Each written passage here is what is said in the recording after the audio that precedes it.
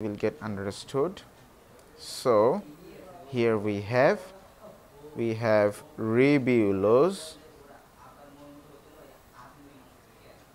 ribulose bisphosphate gets converted to a 6 carbon unstable compound uh, after addition of after addition of one molecule of carbon dioxide okay?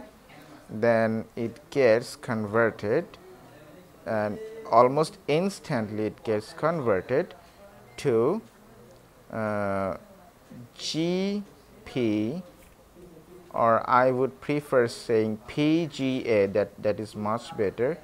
PGA or phosphoglyceric acid and then phosphoglyceric acid and both of these compounds are 3 carbon compounds. Okay.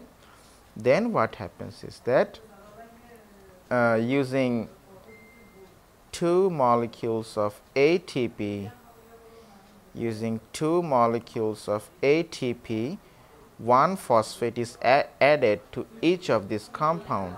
So, we get bis phospho glyceric acid bis phosphoglyceric acid okay? So now the phosphoglyceric acid is activated so, and now it can be reduced. That means this step was just used to provide the activation energy okay? So this step is just used to provide the activation energy by using the energy from ATP okay now, the bis phosphoglyceric acids is reacted upon by a, a reducing agent which is known as NADPH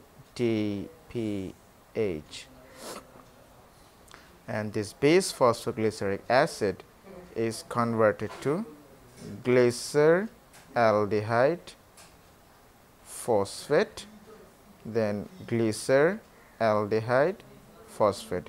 Remember that uh, all these compounds are sorry all these compounds are 3 carbon compounds isn't it? Okay. So glyceraldehyde phosphate. So these are uh, all these compounds all contain one phosphate. That means during the reduction there is also a release of two phosphate molecules. Uh, that means one from one from